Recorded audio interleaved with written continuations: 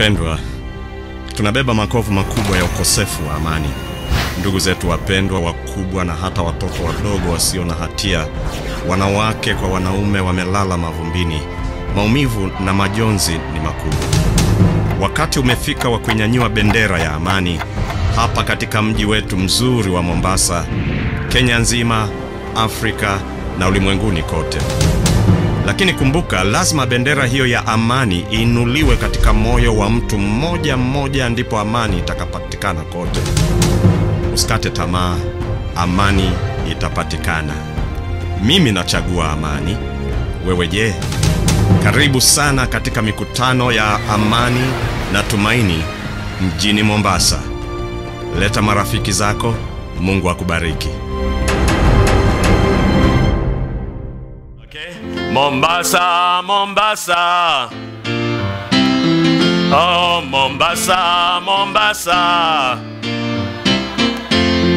Amani, tumaini vinatawala, tunafurahi. Amani, tumaini vinatawala, tunafurahi. Mombasa, Mombasa. Oh, Mombasa, Mombasa. Amani, tumaini vinatawala, tunafurahi. Amani, tumaini vinatawala, tunafurahi. Bwana asifiwe. Wapendwa, muda naona umekimbia, lakini leo sasa tunafika katika hubiri letu la mwisho kwenye mikutano hii, na ninaomba hata kwenye hubiri hili la mwisho Yesu Kristo ainuliwe. Yeye peke yake ndiye tumekuja kumwinua kwenye viwanja hivi, si kwa sababu nyingine. Yeye peke yake ndiye anayestahili kuinuliwa. Yeye ni mwokozi wa ulimwengu, ni mwokozi wa maisha yako na maisha yangu, na yeye mwenyewe alisema kwa hakika ya kwamba nitakapoinuliwa nitawavuta watu wote kuja kwangu. Tumekuja Mombasa kutakia mji wa Mombasa na nchi yetu tukufu ya Kenya amani. Bwana asifiwe. Mungu ameibariki nchi yetu ya Kenya kwa namna ya ajabu, na ameubariki mji wetu wa Mombasa. Unapendeza kweli, uongo? Mji wetu ni mzuri, ni mahali watalii wanatoka mbali, wanalipa pesa, wanakuja kuona. Wakati mwingine sisi tunaweza kuona ni jua kali, lakini Mungu amewabariki jamani. Kwa muda huu mchache ambao hata mimi nimekuwa hapa, nimebarikiwa, nimeogelea maji ya Mombasa. Bwana asifiwe. Nimevuta hewa ya Mombasa. Bwana asifiwe. Nimekutana na watu wapenda amani katika mji wa Mombasa, na Bwana asifiwe sana na hivyo ninyi na mimi tutaendelea kuwa wajumbe wa amani katika vizazi vyote. Wangapi wanasema Bwana, mimi ni mjumbe wa amani? Hebu sema mimi ni mjumbe wa amani. Bwana akubariki. Mimi nitakuwa pia na wewe mjumbe wa umoja katika mji wetu huu na katika nchi yetu hii ya Kenya. Nafikiri kikubwa nitakachoeleza kwa saba, sasa kwa sababu muda umekimbia Amani ya kweli si kutokuwepo tu kwa vita. Banaweza vita visiwepo, lakini amani binafsi bado ikakosekana. Kwa hivyo katika viwanja hivi tumekuwa tukiinua amani ambayo anaitoa Mungu na Mungu peke yake. Akasema, amani yangu na wapeni, si kama ulimwengu utoavyo. Mungu anavyotoa amani yake anaitoa ikae katika moyo wako, ili unapokuwa na amani ya Mungu hakuna kitu kitakachokutingisha. Unajua, nikuambie hivi, ukiwa na amani ya Yesu, mtu akikutukana hatatoa amani yako. Ukiwa na amani ya Yesu Kristo, mtu hata akikupiga risasi hataondoa amani yako kwa sababu wewe umesimikwa katika Yesu Kristo. Unahitaji amani ambayo ipo hata kama mawimbi ni makali na mazito. Na maisha yana mawimbi makali yana maisha mambo mazito. Kuna wakati unapelekwa kwenye vilele vikali kuna wakati unaingizwa kwenye vilindi kama vya giza. Unauliza niko wapi? Unaweza kubabaika ukahangaika magonjwa mabaya yakakupata. Lakini ukiwa na amani ya yesu unaweza kuwa shwari kwenye hali iwayo yoyote ndio maana yesu anasema amani yangu na wapeni na kenya tunaomba mungu atupatie amani yake. Mombasa mungu atupatie amani yake. Amani hiyo ni kubwa kuliko amani ambayo wanadamu wanaitaka. Na hiyo amani ina faida moja kubwa. Ita hatimaye itatuingiza kwenye ufalme wa amani. Na ufalme wa amani ni wa mwenyezi mungu. Na hivyo wanaotuchokoza niwaambie ni kwa sababu hawana amani. Wanaotupiga wakati mwingine na kusababisha uhalifu miongoni mwetu hawana amani ya mungu moyoni mwetu mwao. Kwa hivyo badala ya kukasirika wanapotuchokoza badala ya kutaka kulipa kisasi wanapotuchokoza na tuombe na kuwasaidia amani ya yesu iwe kwenye mioyo yao hilo ndilo mungu alilotuitia. Hatukuitwa kulipa kisasi. Hatukuitwa kurudisha chuki kwa chuki. Hatukuitwa kurudisha hasira kwa hasira. Mungu mwito wake ni kwamba wanapokasirika ninyi rudisheni wema kwa ubaya. Geuzeni shavu. Ni ujumbe mzito. Lakini unapofikiria ndio kweli tupo. Amani haiwezi kuwepo kwa kurudisha kisasi. Haiwezi kuwepo chuki kwa chuki upanga kwa upanga hasira kwa hasira tutaharibiana wote na ulimwengu huu hautakuwa na mwanadamu. Wanaheri walio wajumbe wa amani. Ndio maana yesu akasema heri wapatanishi. Maana hao wataurithi ufalme wa nani wapendwa? Ufalme wa mungu. Ninaomba hapa mombasa mungu akufanye kuwa wewe mpatanishi katika nchi yetu ya kenya. Mungu atupate kuwa wapatanishi. Atufanye kuwa watu wasiobomoa lakini mungu atufanye kuwa watu tunaorejesha tunaokarabati tunaorudisha kilichoharibika. Kwa sababu ndivyo mungu wetu alivyo. Haleluya tunapoharibika mungu hatupigi. Mungu anaturekebisha. Mungu anakukarabati. Mungu anatutengeneza tena. Kwa hivyo nasi kama wajumbe wa amani na tuwe mstari wa mbele katika kutengeneza taifa letu katika kutengeneza mji wetu. Nataka niwape ahadi. Mungu atakuwa na wale wote wenye nia ya namna hiyo. Kwa ubinadamu wetu hatuwezi kwa sababu kwa ubinadamu wetu lililo haraka la kutaka kulipa kisasi ni la kutaka kujibu kwa haraka. Ikiwa ameua na mimi nitaua. Ikiwa ameharibu na mimi nitaua. Lakini ninyi kwa sababu ni wapenzi wa mungu msirudishe kisasi. Kisasi ni cha nani? Mungu anasema ni cha mungu peke yake. Yeye kwa wakati wake atatenda na huyo mungu atahifadhi. Leo hii ujumbe wangu wa kumalizia. Kwa sababu nilishatoa ujumbe kuna wakati wa kutoka na kuing, wakati wa kuingia. Kuna wakati wa kutoka na wakati wa kuingia. Leo ninamalizia na ujumbe huu. Sasa ingieni. Bwana asifiwe. Sasa ingieni. Si mimi ninayetoa wito huu. Ikiwa mtanisikia likitoka katika kinywa changu ninatoa tu mwangwi wa ujumbe wa mungu katika maisha yako. Anasema sasa basi ingieni. Unauliza tuingie wapi? Mungu anataka tuingie wapi? Ninataka nikupitishe kwa haraka sana kwa sababu muda wangu umepita sasa na tuna ubatizo siku hii ya leo. Lakini nataka nikupitishe katika mihula saba. Mihula saba tulipoanza tulianza na farasi wale na mihuri saba. Lakini leo nataka nikupitishe katika mihula dispensations saba za kanisa la mungu. Wengi wamekuwa wakiniuliza ninaposafiri ulimwenguni hivi kanisa la mungu ni lipi? Utalijuaje kanisa la mungu? Jina lake ni lipi? Lina sura gani? Liko wapi? Jibu langu kwa haraka ni hili. Hutalifahamu kwa jina lake. Kanisa la mungu la kweli utalifahamu kwa sifa zake. Na sifa hizo kwa sababu ni, za, ni la mungu hazitolewi na mwanadamu. Sifa zake zinatolewa na mwenye kanisa. Haleluya!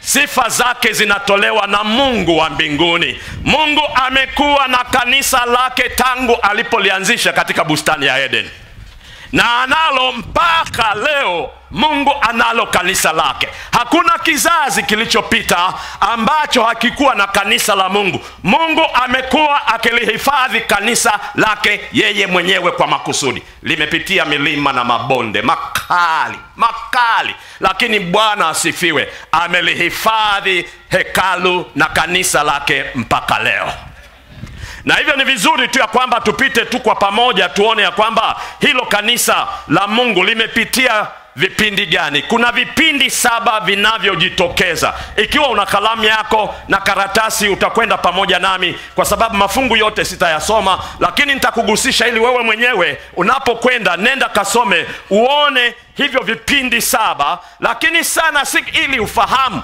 Angalia sifa na yanayotokea kwa kanisa la mungu katika vipindi hivyo saba halafu uone ya kwamba kwa mambo yanayotokea kwa kanisa la mungu mungu yeye anafanyaje? Na mwisho tutafika kwenye kanisa letu la leo hapo mwanzo sura ya tatu mstari wa kumi na tano mungu alisema hivi nami nitaweka uadui kati yako na huyo mwanamke na kati ya uzao wako na uzao wake. Huo uzao utakuponda kichwa na wewe utamponda kisigino. Utabiri mkubwa sana ambao adam na hawa waliusikia kwa masikio yao lakini umeandikwa kwa ajili yetu ya kwamba mungu alimwambia shetani kwa sababu umemdanganya mwanadamu ukalidanganya kanisa la mungu la kwanza na kanisa la mungu likakengeuka likamwasi mungu wa mbinguni. Mungu anasema nitaweka uadui kati yako na mwanamke. Mwanamke katika biblia kwa wale mlio wa unabii mwanamke ni kanisa kwa hivyo ni zaidi sana ya hawa anayezungumzwa hapa. Ni kanisa la mungu. Mungu anasema ataweka uadui kati ya kanisa lake na huyo shetani. Bwana asifiwe. Kwa sababu shetani amekaidi shetani kazi yake ni kuharibu. Mungu wake mungu wetu yeye ni kulinda kanisa lake ni kulitengeneza kanisa lake ni kulihifadhi kanisa lake. Mungu kazi yake ni kuokoa kanisa lake na hivyo anasema nitachora mstari nitaweka uadui kati yako na huyu mwanamke. Nitajaribu kulilinda kanisa langu. Kupitia kwa huyu mwanamke uzao wake nyoka utakuponda kwenye kichwa. Yesu atakapokuja afe pale msalabani atapiga pigo la mwisho kwa shetani. Na alipofufuka yesu akashinda mauti kama tulivyoona jana usiku. Ushindi umepatikana kifo hakina tena mamlaka juu yako. Wokovu wako umepatikana. Shetani ameshapondwa kwenye kichwa. Njia ya wokovu imepatikana kwa kifo cha yesu msalabani. Kwa hivyo shetani anangojea tu adhabu yake itekelezwe siku moja. Kanisa la kwanza. Kanisa la kwanza. Tuliite kanisa la adamu. Kanisa la nani? La adamu na tulipatie tarehe wataalamu wa biblia wanalipatia mwaka wa elfu nne na nne kabla ya kristo kuzaliwa. Mwaka elfu nne na nne kabla ya kristo kuzaliwa. Nataka uangalie. Na hii pattern utaikuta katika vipindi vyote saba vya kanisa la mungu. Mungu anaanza kanisa lake kwa usafi. Usafi wa mafundisho usafi wa misimamo na value zake na usafi wake hautokani na kingine ya kwamba kanisa hilo lake linafuata mafundisho kama mungu alivyoyatoa. Kwa hivyo kanisa la adamu lilianza na likiwa safi. Mafundisho ya mungu japokuwa walikengeuka lakini hata walipotoka katika bustani ya eden waliumia sana kwa sababu ya yale maovu waliyoyafanya wakamrudia mungu wao. Wae wengi wao walitunza usafi wa lile kanisa. Ila si muda mrefu mnafahamu ya kwamba kanisa ile lilianza kupata matatizo kwa sababu habel na kaini wenyewe ndipo mwanzo unapoona wana matatizo kaini yeye anamkaidi mungu badala ya kufuata kile mungu alichosema kaini anasema nitafuata ninachoona vyema. Nimewaonya kwenye mikutano hivi ya kwamba hii ndiyo attitude ya wanadamu wanaoishi katika karne ya ishirini na moja. Ninapenda kufanya kile ninachoona chema machoni pangu mimi mwenyewe. Hata kama mungu anasema hapana. Lakini njia hiyo ya attitude ya namna hiyo mkaa wa falsafa ya maisha ya namna hiyo itakupeleka mbali na mungu usafi wa kanisa la mungu unadai ya kwamba kile mungu alichonielekeza kile mungu alichokisema kile mungu alichokitaka kwangu hicho ndicho nitakachoishi hilo ndilo litakalokuwa lengo langu huko ndiko nitakapoelekea. Kwa hivyo uovu ulianza. Ninakwenda kwa haraka. Uovu ukafikia kilele chake wakati wa nuhu. Uovu wa kanisa la mungu ukawa mbaya watu wamekengeuka kutoka katika maagizo ya mungu wamefuata maagizo yao wenyewe. Ukafika wakati ule mungu akaghairi ya kwamba amemuumba mwanadamu. Mungu ambaye hana kigeugeu akaghairi ya kwamba huyu mwanadamu niliyemuumba nitamfutilia uso wa nchi na ili ujue ya kwamba kweli mambo yaliharibika.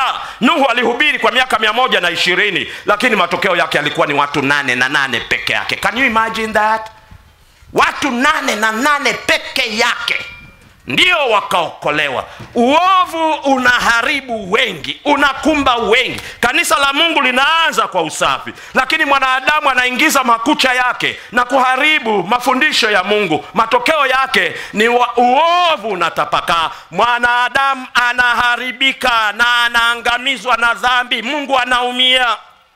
Na hivyo mungu akasema nitamfutilia mbali mwanadamu na mnyama niliyemuumba. Ninataka kuanza tena. Kwa hivyo kanisa la pili ni kanisa la nuhu.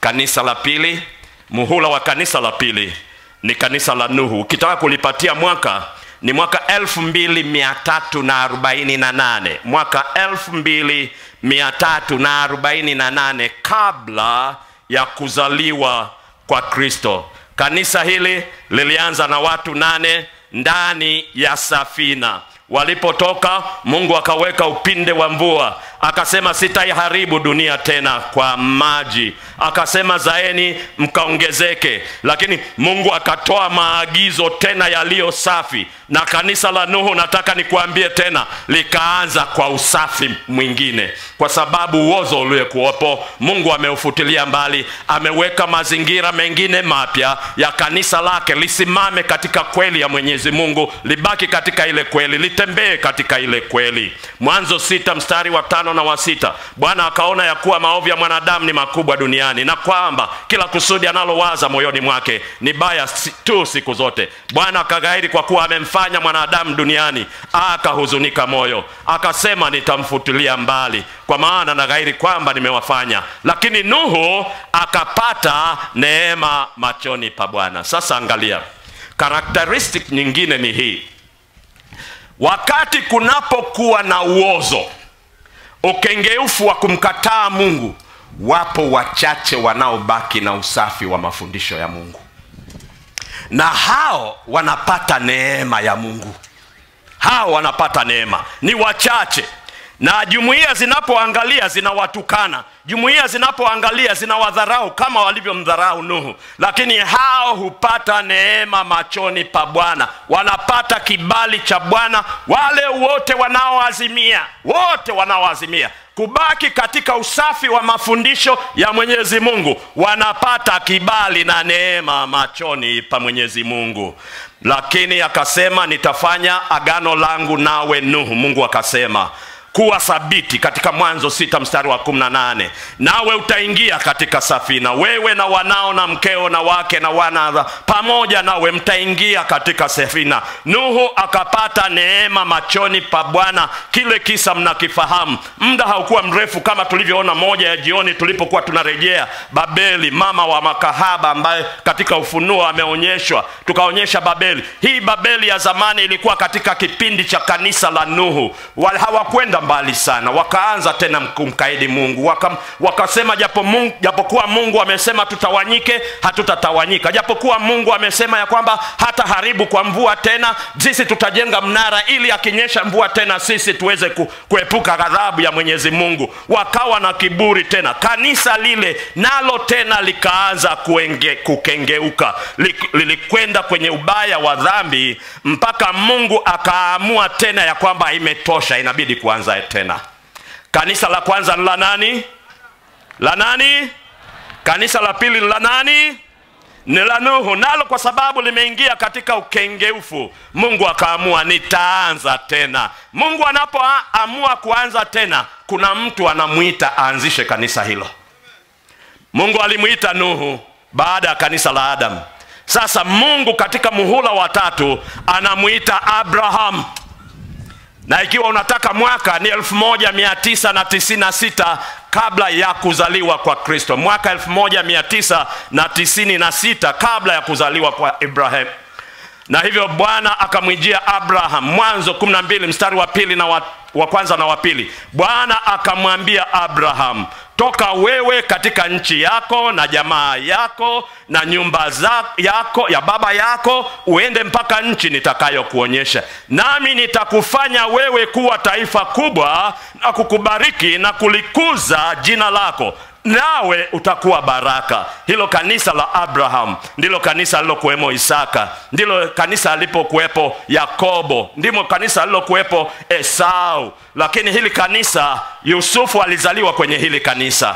Lakini ndugu zake ili uone ya kwamba ukengeufu pia uliingia hawakubaki katika uaminifu. Ndugu yake ndugu zao wakamuuza ndugu yao damu moja wakamuuza. Unawezaje wewe mcha mungu kumuuza ndugu yako? Nia yao ilikuwa ni kumuua na kumharibu kabisa kwa sababu mungu amempatia njozi kubwa ya kwamba siku moja atatawala. Wao wakaona tumalize kabla hajata- hajatutawala. Hata baba na mama yake wakashangaa. Yaani una maana wewe utatutawala? Hawakuiona njozi ya mwenyezi mungu. Hata yeye mwenyewe japo yusufu hakuiona lakini mungu alimwongoza. Kwa hivyo hilo kanisa yusufu alipokuwa misri akaomba baba yake na mama yake waje kwa sababu kuna njaa katika nchi. Walikuja kwenye ile nchi wakaishi kwenye neema ya misri. Lakini neema ilivyokuwa nyingi wakachanganyika pia na watu. Wakaacha mafundisho mungu aliyowapatia wakachukua mafundisho ya kigeni ambayo mungu aliwaonya wasiwe na miungu mingine wasiabudu sanamu wasifanye vitu kama hivyo. Lakini walipokuwa katika nchi ya utumwa watu wa mungu kanisa la mungu wakajisahau wakaingiza hayo mambo ambayo ni chukizo kwa mungu. Kwa hivyo kanisa hilo nalo likawa utumwani lakini utumwani likaingiwa na upagani likaingiwa na mambo ya kigeni yasiyo na chanzo katika mungu. Mungu akaazimia tena ataanza upya. Kanisa la kwanza ni kanisa gani kanisa la pili ni la nani? Kanisa la tatu ni la nani?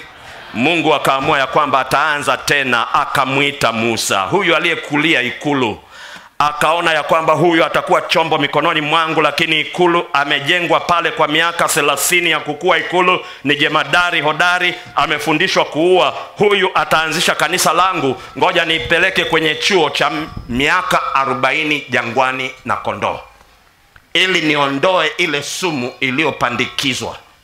Nimtengeneze aongoze kanisa langu katika usafi wake. Wakati ulipofika mungu akatoka kumwita musa pale jangwani kwenye kichaka kilichowaka moto lakini hakikuungua. Musa akisogea karibu mungu anamwambia hapana usisogee mahali uliposimama. Ni mahali patakatifu ninakuita kwa kazi iliyo takatifu ya kuongoza kanisa langu katika usafi wake. Ninaomba uondoke uende misri ukaambie farao awaambie watu wangu watoke wakaniabudu. Kanisa la musa ukitaka kuliwekea he, tarehe zake ni mwaka 1491 kabla ya kuzaliwa kwa kristo. Mwaka 1491 kabla ya kuzaliwa kwa kristo. Msa huyu bwana akamwita akamwambia katika kutoka tatu mstari wa saba na wanane bwana akasema hakika nimeaona mateso ya watu wangu walioko misri nami nimesikia kilio chao maana nayajua mateso yao nimesikia kilio chao maana nayajua mateso yao mungu akasema nami nimeshuka niwaokoe na mikono ya Wamisri, niwapandishe kutoka nchi ile hadi nchi njema, kisha pana, nchi ijuayo maziwa na asali. Basi sasa Mungu alipowatoa katika nchi ile ya Misri, amewaingiza katika jangwa lile la jangwa kubwa, amewapitisha kwenye bahari kwa mkono wa ajabu, amewafanyia miujiza mikubwa. Ikafika mahali wanapokuwa kule jangwani, Mungu akawaambia kitu katika Kutoka 19 na mstari wa tano, akaambia sasa, sikilizeni watu wangu, ikiwa mtaitii sauti yangu kweli kweli na kulishika agano langu kweli kweli, hapo ndipo mtakapokuwa tunu kwangu kuliko makabila yote ya watu. Mungu katika kanisa lake hapa ndipo mahali ana tatizo na watu wake. Ikiwa mtaitii sauti yangu kweli kweli, kanisa linaanza kwa kutii kwa usafi wake huo linamtii Mungu katika miongozo yake, lakini linavyosogea na wanadamu wanapoongezeka, angalia hili, wanadamu wanapoongezeka ndipo ukengeufu pia unavyokuja kwenye kanisa la Mungu. Kwa hivyo kanisa hili Mungu akasema, mkiitii sauti yangu, kama alivyosema kwa makanisa yaliyotangulia, itii sauti yangu, mtakuwa tunu kwangu, mtakuwa watu wa pekee, mtakuwa na thamani kubwa ikiwa tu mtabaki katika kunitini Ni katika kanisa hili la Musa, Mungu akarejesha amri kumi, akawakumbusha tena, hizi amri ndizo zinazotawala ufalme. Msizipuuze, msizitupe, msizadharau. Ni za misingi, zimejengwa katika misingi ya ufalme, zinatokana na msingi wa ufalme wa Mungu, kanuni zinazotawala, kwa sababu Mungu ni Mungu wa utaratibu. Pale pale Sinai, mahali ambapo amri kumi zilitolewa, kanisa la Mungu lilipoona Nuhu Musa amechelewa mlimani, wakatengeneza sanamu. Ukengeufu wa namna gani! Mungu amekwenda awapatie amri ziwakumbushe ya kwamba Mungu ana utaratibu. Mungu yeye ndiye Mungu peke yake, lakini huku chini wakasema tutengenezee sanamu, na hii sanamu iturudishe Misri. Tumechoka kwenda Kanaani.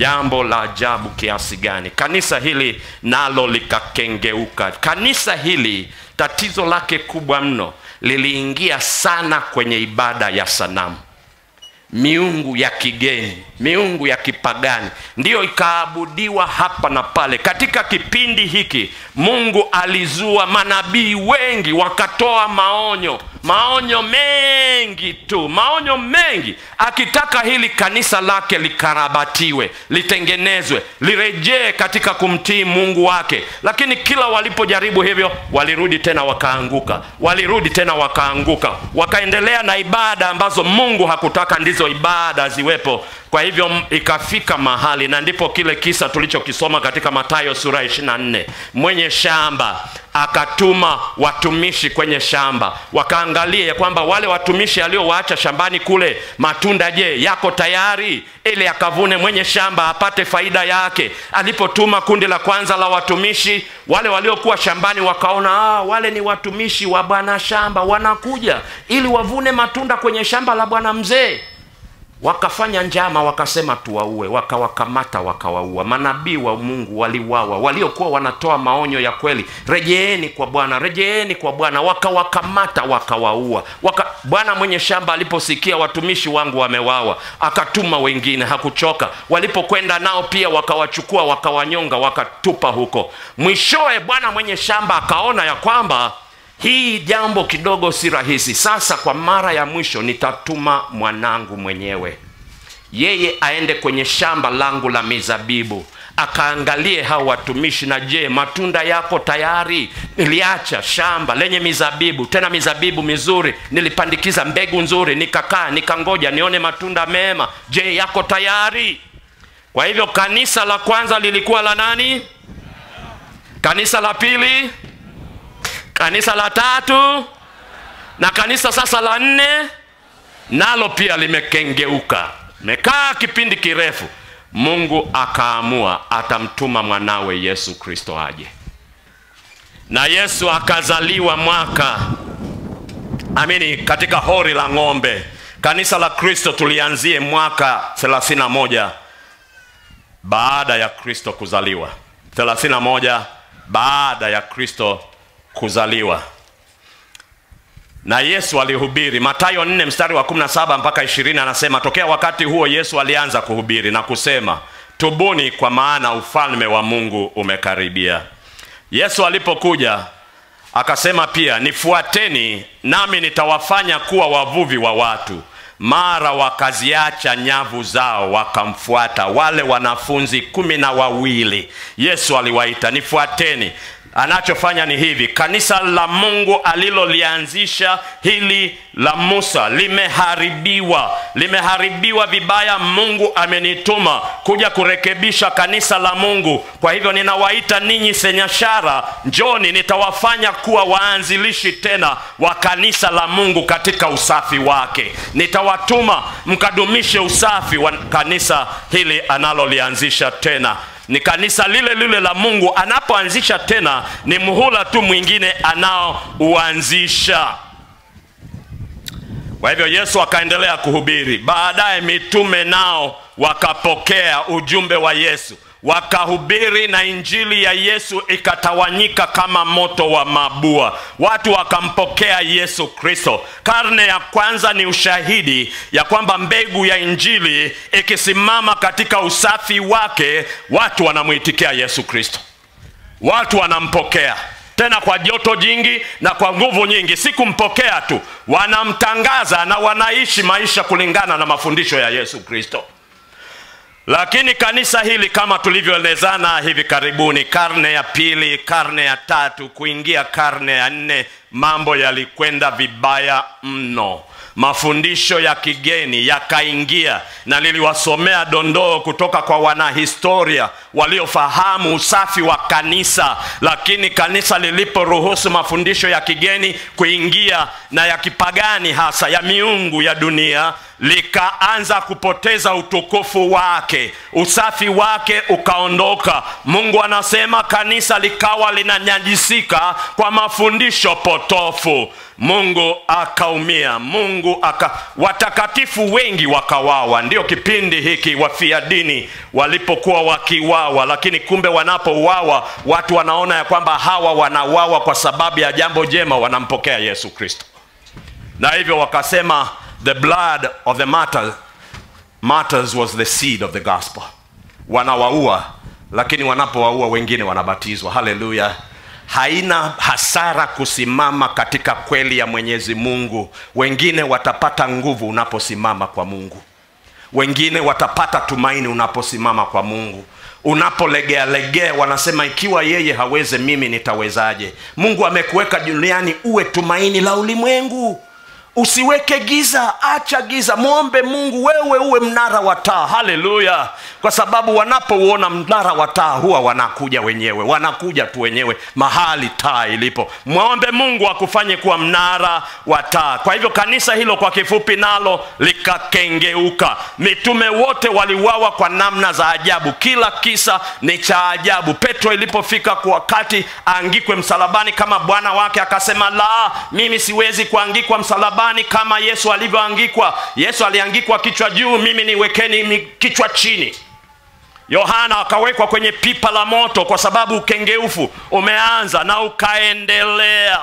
Kanisa la kikristo lililokuwa pale rumi likatwaa mamlaka likasema lenyewe ndilo kwa mamlaka ya konstantin likasema ndilo litakalokuwa kanisa la ulimwengu. Lakini ukengeufu ukaendelea henry thomas bako katika kitabu cha history of civilization uh, gombo la kwanza ukurasa wa 188 anasema kutukuza sanamu kukafuatiwa na kutukuza watakatifu.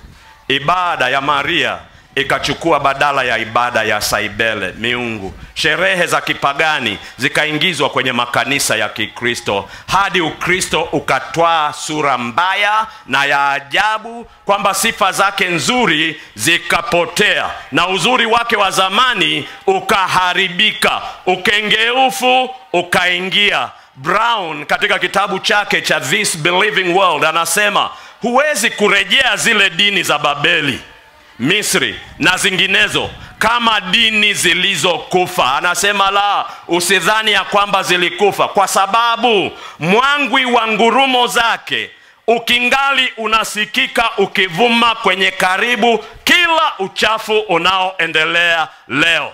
Zimekufa tu kwa jina lakini kihalisi zikingali zipo kwa hivyo ukengeufu anapoandika brown katika wakati wake anasema bado unaangam, unaendelea. Mungu akaazimia ataanza tena.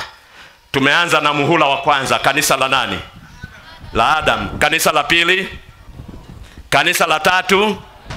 Kanisa la nne? Kanisa hili la tano sasa yesu kristo mwana mwenyewe wa mungu wakamchukua wakamwangika pale msabani. Ni kanisa la musa. Uone ukengeufu wa kanisa la musa. Ilifika mahali likamchukua yesu kristo mwana wa mungu aliyetumwa na mungu wakamwangika msalabani wakamuua. Ni kanisa lilomuua sio warumi. Ni kanisa la mungu ndilo limuua mwana wa mungu. Liliua bwana wake ukengeufu unaweza kwenda mbali kiasi hicho. Ndio maana mungu anasema ajidhanie amesimama angalia asija akafanya nini wapendwa. Asija akaanguka. Kuna uwezekano kabisa wa kuanguka. Kwa hivyo mungu akaamua ataanza tena. Kanisa alilolianzisha jingine likawa ni kanisa la matengenezo sasa katika kipindi cha matengenezo the reformation. Na mwaka tunaochukua pale hasa ni ule mwaka ambao martin luther alifanya kitu cha ajabu mwaka 1517 baada ya kuona ukengeufu umeshamiri mungu akazindua watu wana matengenezo wakasema uchafu wa kuchanganya kweli ya mwenyezi mungu na uchafu wa dunia la hasha injili ya mungu na isimame katika usafi wake na mungu akanyanyua watu waliokuwa hodari walijaribu kutitishwa na mamlaka za dunia. Wakapigwa waka wakachomwa wakaangamizwa. Wengine wakachomwa kwenye moto wakasimama kwenye moto. Na mkumbuka hasa anaambiwa kaa na imani kaa na mafundisho yako na kanisa ndilo linamweka juu ya moto. Kanisa lililokuwa kanisa la mungu lakini limekengeuka anakaa juu ya moto na hasa anasema siwezi kuikana imani. Wanawosha kuni zilizokuwa kwenye miguu yake na zile kuni zinapoungua has anaimba wimbo wa ukombozi. Walisimama katika kweli na haki lile kanisa la matengenezo wakitetea biblia neno la mungu na mafundisho yake. Wakiongozwa na martin luther anaposema mwenye haki ataishi kwa imani. Haleluya! Mwenye haki ataishi kwa imani ni usafi wa injili ya mwenyezi mungu. Si kwa matendo ya sheria. La hasha! Huo ni upotovu. Si injili ya yesu kristo japo kuwa matendo ni kitu kizuri. Kanisa hilo nalo liliongozwa na ndipo uprotestanti ulipotokea uprotestanti ulikuwa na joto kubwa sana. Kubwa sana. Walichokuwa wanaprotesti ni nini? Wanakataa mafundisho ya kigeni ambayo hayana mwanzo kuingizwa ndani ya kanisa. Wakasema la hasha na turejee mahali mungu alipotaka. Ndio protestant wenyewe. Protestant wakaendelea mpaka nao uprotestant umeacha kupiga mbiu ya matengenezo. Leo uprotestant umeacha kupiga mbiu ya ma, matengenezo. Ni bahati mbaya. Na hivyo uasi ukaong, ukaongezeka. Na uasi kila unapoongezeka mungu anaita utoke kwenye uasi uingie kwenye usafi wa dini ya mwenyezi mungu. Na hivyo nilipoanza kuambia tokeni babeli mungu alichokuwa anasema toka kwenye mafundisho ya uongo ingia katika mafundisho ya kweli ya mwenyezi mungu. Mungu wako yuko tayari kusimama pamoja nawe. Ninataka ufahamu kuna kanisa moja la mwisho lililobakia. Kwa sababu hata kanisa la matengenezo kanisa hili la, la, la uprotestant nalo pia limekengeuka. Limeingiza mafundisho ya kigeni mno na ni mengi ninaweza kuyataja. Hata yale waliokuwa wakiyapinga waprotestant sasa kiongozi mmoja wa kiprotestant hivi karibuni alisimama na kiongozi wa kanisa mama akasema hivi uprotestant umekwisha. Hakuna cha kuprotest wakati mafundisho waliokuwa wakiyaprotesti wakati ule bado yako vile vile lakini waprotestant wanadiriki kusema na kusimama na kusema hadharani no more protest. Ni ukengeufu. Bwana bado anatuita turudi katika mafundisho yake ya awali ya usafi uliotokana na mwenyezi mungu. Na mwito huo na upigwe kwa sauti kubwa si kama ushabiki wa vyama vya siasa kweli ndiyo itakayomwokoa mwanadamu. Kweli na kweli ina chanzo katika mungu na mungu peke yake. Wapelekeni wanadamu wote kwa mungu. Wewe uwe wa kwanza kusimama pamoja na mungu. Na hivyo kanisa hili la kimatengenezo liliposhindwa kanisa la kwanza lilikuwa la nani? Kanisa la pili? Kanisa la tatu? Kanisa la nne kanisa la tano na kanisa la sita. Kanisa la matengenezo liliposhindwa likaja sasa kanisa la mwisho. Ukisoma katika biblia hili huu ndio muhula wa mwisho wa kanisa la mungu. Muhula wa mwisho wa kanisa la mungu umeelezwa vizuri katika ufunuo. Upo unabii mbalimbali katika ufunuo hata na danieli zitakazokupeleka kuona ya kwamba mungu sasa anao muhula wake wa mwisho. Baada ya hapa hataita mwingine. Baada ya hapa tutaona yeye mwenyewe akianzisha ufalme wake. Haleluya! Na kanisa hili ni kanisa la masalio. Kanisa hili la mwisho ni kanisa la masalio. Tazama ya kwamba sitaji jina la dhehebu kwanza ninasema ni kanisa la masalio. Angalia mungu baada katika kila muhula wa kuona ya kwamba kila wanapokengeuka wanabaki masalio. Kila wanapokengeuka wanabaki masalio. Kila wanapokengeuka wanabaki masalio. Hatimaye anasema ninaanzisha kanisa la masalio. Masalio ni nani? Ni wale waliosalia katika kumtii mwenyezi mungu wengine wanapokaidi na kukataa wengine wanapoona hapana tupelekane na wakati. Wengine wanapoona mafundisho ya mungu ni, uf, ni usumbufu unatusumbua tu. Tunataka kidogo kilicho laini kinachopelekana na fikra zetu leo. Mungu anasema wengine wanasimama imara wanasema alichotupatia mungu hatutabadilisha. Tutasimama nacho kwa gharama yoyote. Walio kanisa la masalio ningekuwa na muda tungeingia katika unabii huo muda hauniruhusu. Ufunuo 12 mstari wa 17 joka akamkasirikia yule mwanamke akaenda zake afanye vita juu ya wazao wake waliosalia. Hawa wazao waliosalia sifa zake zimeelezwa pale. Zizingatie kwa makini. Hao wazishikao amri za mungu na kuwa na ushuhuda wa yesu hao wazishikao amri za mungu na kuwa na ushuhuda wa nani? Wa yesu. Nitakuwa wazi baadaye kidogo. Lakini ikiwa wewe ni roman catholic ikiwa wewe ni methodist ikiwa wewe ni anglican ikiwa wewe ni mwadventista msabato ikiwa wewe ni nani chochote kile ikiwa unashika amri zote kumi na kumi za mungu na ni makusudi yako katika maisha yako yote kushika amri kumi za mungu. Na unao ushahuda wa yesu kristo ambayo ni roho ya unabii. Hapa tungeweza kuelezana mengi tena zaidi. Una sifa za kanisa la masalio. Wewe ni wa kanisa la masalio. Kanisa la masalio hutalijua kwa jina. Kanisa la masalio utalijua kwa sifa kanisa ninaloabudu mimi linadhamiria kushika amri zote za mungu kama zilivyo.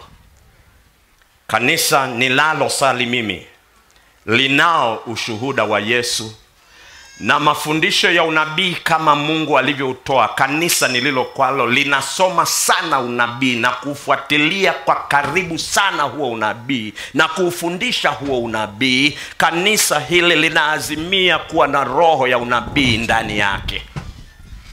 Ukiniuliza kwa nini niko kwenye hili kanisa ni kwa sababu hiyo. Wapendwa walio wa masalio wanazishika amri za mungu kuna wengi niseme kwa kweli wako ndani ya kanisa nililo na kwalo ambalo linaazimia kushika amri zote za mwenyezi mungu na kuzingatia ushuhuda wa yesu kristo. Lakini wapo wengi waliomo humo ndani lakini hawazishiki hizo amri kumi. Mdomoni ni amri kumi lakini kwenye maisha yao zimepuuzwa zinapondwa pondwa kila siku. Mungu anaponitazama niliwa wa namna hiyo ndani ya kanisa hili anasema watu hawa wananiabudu bure kwa midomo yao mioyo yao ina miungu mingine na hao sio wa masalio sio wa masalio. Wanakumbatia maagizo ya mungu. Wanafahamu hivi hawataokolewa kwa kuitii sheria. La hasha. Kwa sababu tunaokolewa kwa neema ya nani wapendwa? Neema ya yesu kristo. Ni kwa imani. Lakini wanafahamu hivi. Wote ambao wameipokea neema ya yesu kristo wataishi kulingana na yesu kristo anavyoagiza. Wanachagua kuishi. Si ili waokolewe lakini ni furaha yao kuishi maisha ya mwokozi wao wanajiambatanisha kwa mwokozi wao si kwa maneno yao tu lakini pia kwa mwonekano wa maisha ya kila siku kwa uchaguzi na maamuzi kwa values wanazozizingatia katika maisha yao. Hao ni wa masalio wazishikao amri kumi za mungu na imani ya yesu kristo. Ombi langu leo kwa wale wote mnaonisikiliza ni ombi la mungu. Ingia kanisa la masalio. Kama mungu alimwambia nuhu siku moja wakati umefika sasa ingia wewe na nyumba yako katika safina. Kwa sababu huu ni muhula wa mwisho katika biblia katika historia ya kanisa la mungu. Sasa sikiliza ingia wewe na jamaa yako na jirani yako na rafiki yako na mfanyakazi mwenzako ingia wewe na wanadamu wenzako kwa upendo kwa huruma kwa unyenyekevu. Ingia wewe kwa mwito wa mwenye kanisa yesu kristo. Ingia wewe na hao wote kwenye kanisa la masalio. Kwa sababu yeye ajaye anakuja. Yeye ajaye anakuja na malaika wale watatu ambao tumerudia yule wa kwanza ujumbe wake kila mara ameruka katika anga. Ujumbe naotoa huu leo wa yesu kristo ni kwa kila taifa kila kabila kila lugha na kila jamaa. Anasema kwa sauti kubwa mcheni mungu na kumtukuza. Ingieni katika kanisa la mungu. Na ikiwa umeingia katika kanisa la mungu acha kutangatanga baki ndani ya kanisa la mungu. Yeye mwenye kanisa anakuja kulitwaa kanisa lake kuliingiza kwenye ushindi wa milele. Na ninaomba anapolitwaa kanisa lake wewe uwepo na mimi niwepo sote kuwepo si peke yetu. Mungu asije akawapata tu nane. Ninaomba mungu aupate umati kama mchanga wa bahari lakini umati huo utapatikana ikiwa wewe tu utasimama katika zamu yako uwe a beacon of light in the community ulipo. Ya kwamba watu wanapokuona wapate tumaini wajue ya kwamba wewe unaelekea kwenye milele wajue ya kwamba wewe umeazimia katika us- kusimama katika usafi wa mafundisho ya mwenyezi mungu. Umeazimia ya kwamba japo kuwa wengine wakengeuke kengeuke wewe utasimama katika usafi wa maisha na mafundisho ya yesu kristo. Simama imara katika mafundisho hayo kwa sababu yeye ajaye anakuja wapendwa. Ni hivi karibuni upande wa mashariki tutaona mbingu zikipasuka na kukunjwa kama karatasi. Kwa sababu yeye aliyesema tazama naja upesi na ujira wangu mkononi mwangu mbingu hazitaweza kumzuia tena. Kwa sababu wakati wake umefika mbingu zitakunjwa kama karatasi. Na tutamwona yeye aliyesema naja upesi akianza kushuka. Kawingu kadogo kama usawa wa ngumi ya mtu lakini kanavyoshuka kale kawingu kanazidi kuwa kakubwa na kakubwa na kakubwa zaidi. Ndipo tunaposema lo kumbe si wingu bali ni wingu la malaika. Limembeba mwokozi sasa kama mfalme wa wafalme na bwana wa mabwana anayekuja kukutwaa wewe na mimi kwenye makao ya milele mahali ambapo ni pa amani ya milele. Yeye ajaye anakuja. Paulo anatueleza wazi kabisa tulio hai hatutawatangulia waliolala. Wengine wanapokimbia walio wa kanisa la masalio watasema hivi huyu ndiye mwokozi tuliyekuwa tunamngojea. Furahini na kushangilia. Pigeni vigelegele. Wokovu wenu umekuja. Waliwatesa wakamwaga damu yenu waliwafunga wakuua mtetezi wenu amekuja. Simama mlio wa kanisa la masalio. Bwana asifiwe. Bwana ni mwema wakati wote. Tunafikia kwenye kilele sasa. Ninatoa mwito wa yesu kristo. Paulo anasema hatutawatangulia waliolala. Watafufuliwa kwanza. Natumaini kumwona baba yangu. Kuna wengine hapa mnatumaini kumwona mke wako na mtoto wenu aliyepotea watafufuliwa kwanza. Watoto watarejeshwa kwenye mikono ya wazazi wao waliokuwa waaminifu walio wa masalio. Bwana anasema ingia katika kanisa la masalio. Tunao wengi leo ambao wameamua kubatizwa. Wamefanya maamuzi haya katika kipindi hiki cha mikutano hii kwa sababu wamesikia roho wa mungu akizungumza katika maisha yao wengine walisikia mito hii wakiwa nyumbani hawakuweza kuja kwenye mikutano hii lakini leo wako mahali hapa. Saa yenu sasa imefika. Mungu leo tena anaita. Ikiwa hata hukuitikia mwito wowote juma hili lakini sasa unasikia mwito wa mungu ukiita ingia kwenye kanisa lake. Na mwito ninaokupatia kwa sasa ni huu. Ni mwito ambao utafakari. Kanisa la waadventista wa sabato linadhamiria. Japokuwa si wote tunaofaulu lakini wote tunadhamiria kuwa wa kanisa la masalio. Tunadhamiria kumtii mungu ili tuwe tunu kwake. Hatuendi kwa jitihada zetu tunakwenda kwa jitihada za mwenye mungu. Na ndiyo maana tunakualika karibu kwenye kanisa kanisa la watu ambao wamekusudia kabisa kuwa kanisa la masalio. Ambatana pamoja nao jifunze pamoja nao omba pamoja nao elekea pamoja nao. Mtasaidiana hatujakamilika humu ndani. Hakuna aliyekamilika hata mmoja. Ikiwa yupo aliyekuambia amekamilika na kuambia leo ni mwongo. Wote tuko kwenye treadmill. Mungu bado anaendelea kutukamilisha lakini anapotutengeneza na kutukamilisha tunakualika njoo katika kanisa.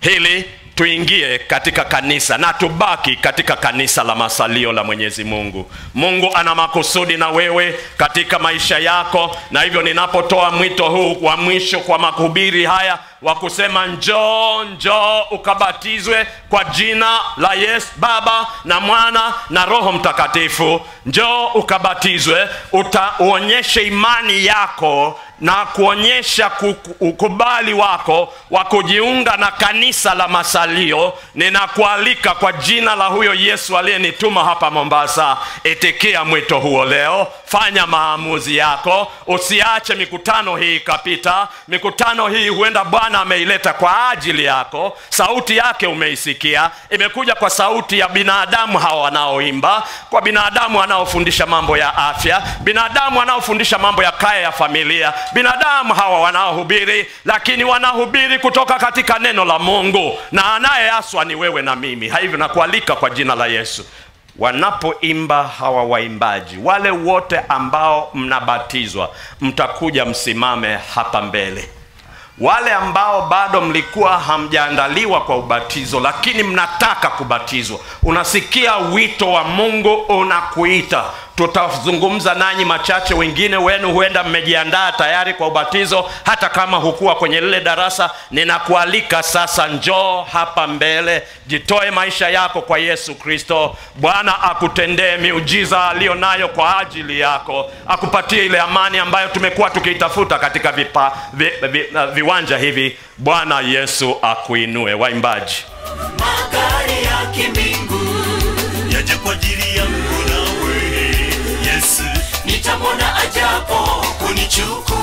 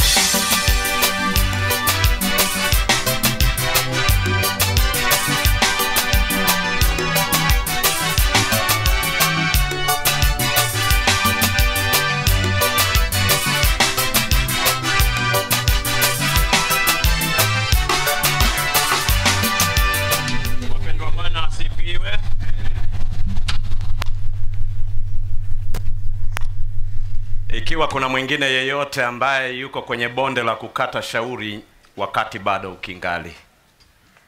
Kuna wengine hapa ambao waliazimia wakati fulani kuingia kwenye kanisa la Masalio, tena wakaingia, lakini kwa sababu ya mahangaiko ya maisha walishindwa mahali fulani, wakatoka. Zinapokuja nyakati kama hizi, Mungu huwa anazungumza na nafsi yako na uliye wa namna hiyo, ikiwa unataka kurudi kwenye kanisa lako la masalio, usafi wa mafundisho ya Mungu wako, ninakualika mahali ulipo, njoo tu, kwa sababu sasa hivi tutafanya utaratibu huu ufuatao. Nipende kuambia tu furaha iliyo moyoni mwangu ninapoona maamuzi haya, wapendwa, mnayoyafanya kwa ajili ya Yesu Kristo, si kwa ajili ya mwanadamu yeyote. Mungu anafurahi unapomchagua kuwa upande wake unapomtetea hadharani namna hii, na yeye anasema nitakutetea vile vile mbele ya Baba yangu. Ninaomba baraka za Mwenyezi Mungu ziwe pamoja nanyi mtakaoingia katika ubatizo leo, mtazamishwa kwenye maji mkitoka katika upya wa maisha ya Yesu Kristo. Naomba damu ya Kristo iwatakase. Ninaomba uwezo wa Mungu utembee nanyi katika maisha yenu, mwione furaha iliyopo katika kumfuata Yesu Kristo katika mafundisho anayowapatia. Kuna kundi maalum lililoko kati yetu, na napenda nilitambue.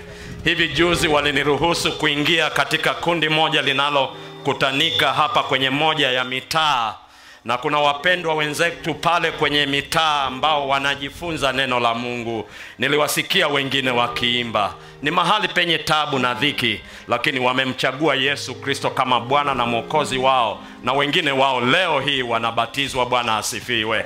Hata huwezi kuwatambua ni akina nani hapa. Yesu ataendelea kuwatengeneza, Yesu ataendelea kuwafanikisha. Nanyi ninaomba neema ya Bwana iwe pamoja nanyi.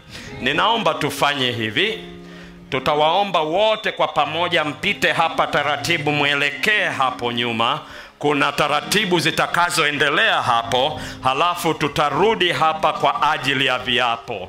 Ubatizo haufanyiki sasa hivi, tunatoka nao hapa tufanye maandalizi kidogo, halafu tutarudi nao hapa, watachukua viapo vyao vya ubatizo kisha tutafanya ubatizo wakati huo. Wakati wanapokwenda kule, wengine tuendelee kutulia kwenye viti, kuna mambo machache yatakayokuendelea. Karibuni na Mungu awe pamoja nanyi. Naomba mfuateni mchungaji pale, atawaelekeza. Mungu awabariki.